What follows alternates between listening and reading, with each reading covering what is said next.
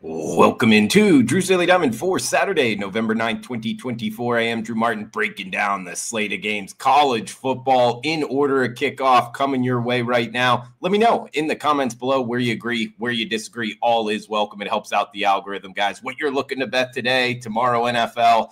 Uh, feel free to throw it out there in the comments below. Smash that like button if you're liking the content. As we got first game up, 12 noon Eastern, 9 a.m. Pacific, Bobby Dodd Stadium, Atlanta, Georgia.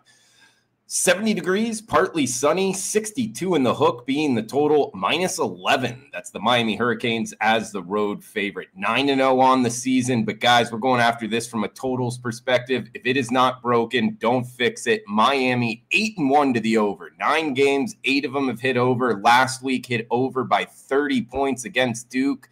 Was one of those situations, you know, my eyes went to Georgia Tech plus the 11 uh, with Haynes King, kind of questionable though. I laid off of it. I mean, of course, this is the Mar- Mario Cristobal game from last year. You might remember Miami had it won. They didn't take a knee. They ended up fumbling, and Haynes King and company came back and uh, hit a couple big plays. I think Georgia Tech's going to hit some more big plays here. This Miami defense has kind of been their weak link. If you're looking to bet Miami, keep in mind they're only five and four against the spread because they've been letting up some big points here. Georgia Tech off of the bye. I think they're able to punch it in the, the end zone a couple times. I wouldn't be surprised if this gets north of 70, guys. So we're going to start off 62 and a hook, Bobby Dodd Stadium, over for Georgia Tech and Miami. We got next one up. We're going to hit the 3:30 Eastern hour here.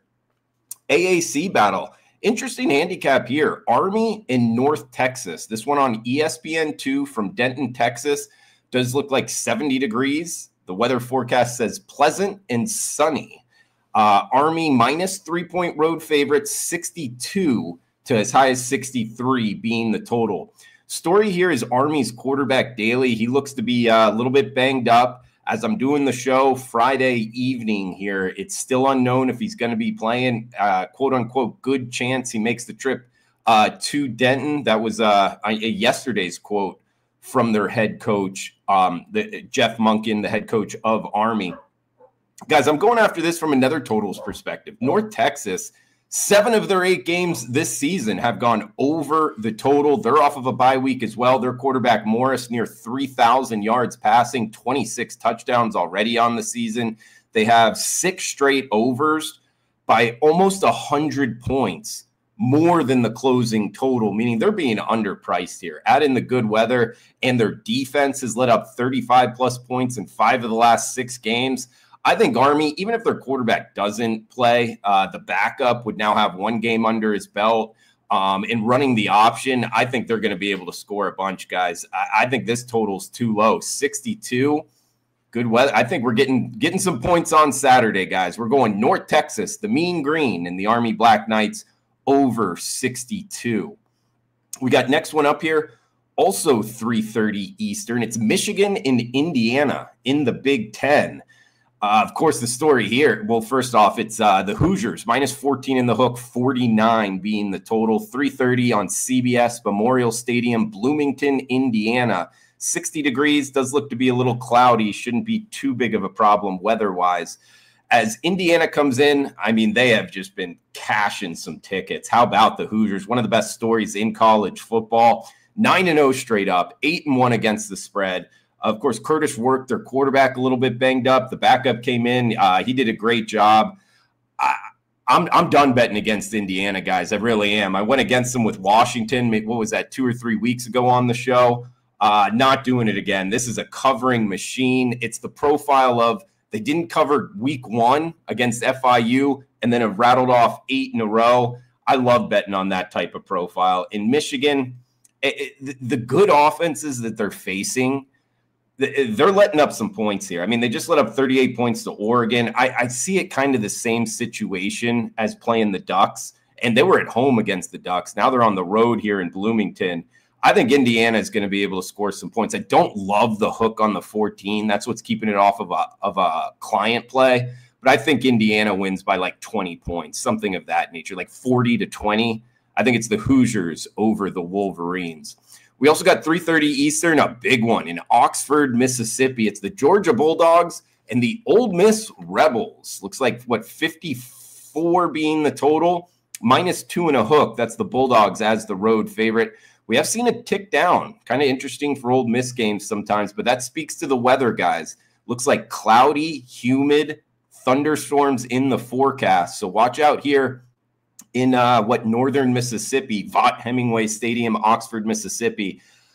I think this comes down Kirby Smart versus Lane Kiffin, the two former uh, colleagues at Alabama, the offensive coordinator there under Nick Saban and the defensive coordinator there.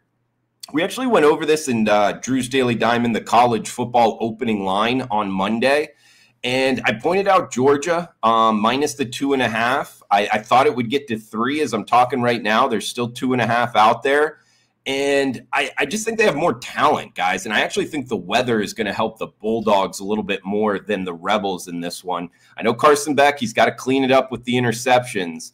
But Ole Miss, I mean, what, running it up against Arkansas? Yeah, I guess you could say it sparks their offense.